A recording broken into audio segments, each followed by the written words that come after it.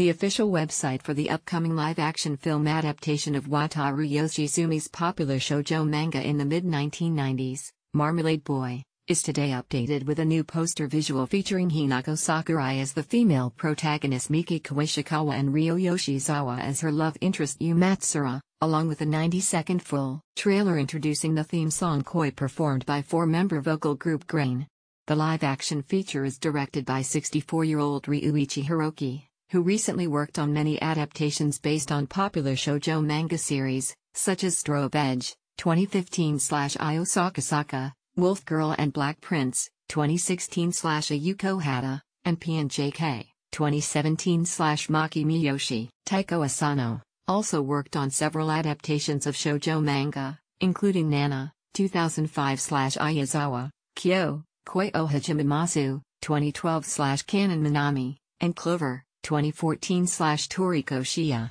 is attached as screenplay writer. The film will be distributed by Warner Brothers Japan from April 27. Full trailer poster visual and https colon slash slash t.co slash 386 by 4rh hash hash hash hash hash pic.twitter.com slash sigskiep at marmalade underscore movie 2018 222 manga tankobon first and eighth volume covers source Marmalade Boy live action film official website Twitter copyright Wataru Yoshizumi slash Shueisha copyright 2018 Mube Marmalade Boy Production Committee